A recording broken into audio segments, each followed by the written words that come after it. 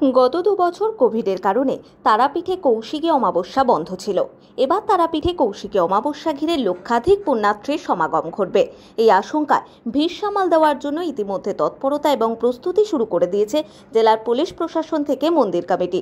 রামপুরহাট মহকুমা প্রশাসনিক ভবনে পুলিশ দমকল, রেল পুলিশ, বিদ্যুৎ দফতর জনস্বাস্থ্য, কারিগরি দফতর বিডিও, গ্রাম পঞ্চায়েত প্রধান, তারাপীঠ লজ মালিক সমিতি, তারাপীঠ মন্দির কমিটি এবং অন্যান্য আধিকারিকদের নিয়ে বৈঠক করলেন জেলা শাসক বিধান রায়, জেলা police super Nagendranath Tripathi, deputy speaker তথা তারাপীঠ রামপুরহাট উন্নয়ন পর্ষদের চেয়ারম্যান আশিস বন্দ্যোপাধ্যায়, রামপুরহাট মহকুমা পুলিশ আধিকারিক ধীমান মিত্র, মহকুমা শাসক সাদ্দাম নাভাস সহ আধিকারিকরা।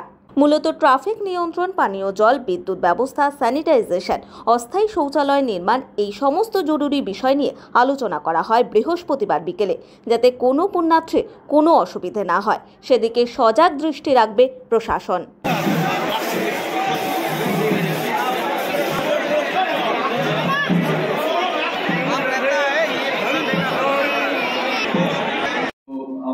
যে গত দু বছর করোনার জন্য আমাদের কৌশিক অমাবস্যা রামপুরহাট এবং তারাপীঠ এবং কৌশিক অমাবস্যা তিনটি অঙ্গাঙ্গি ভাবে জড়িত আমাদের বাঙালির জীবনে।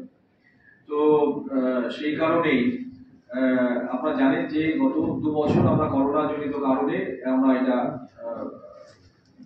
সংগঠিত করতে পারিনি এই কৌশিক অমাবস্যা হতে পারিনি। এটা তারাপীঠের যে আমাদের যা ভাবধারা এবং তারাপীঠের যা মাহাত্ম, তার সাথে অঙ্গাঙ্গিভাবে জড়িত সেটা আমরা বললাম। এই কৌশিক অমাবস্যাটা সুসম্পন্ন করা এবং কৌশিক অমাবস্যাটা নির্বিঘ্নে আমাদের ভক্ত আমাদের দর্শনার্থী এবং আরও অন্যান্য যারা মা তারা প্রেমী যারা আছেন মা তারা চরণে যারা চরণাশ্রিত যারা আছেন তাদের পক্ষে অত্যন্ত একটি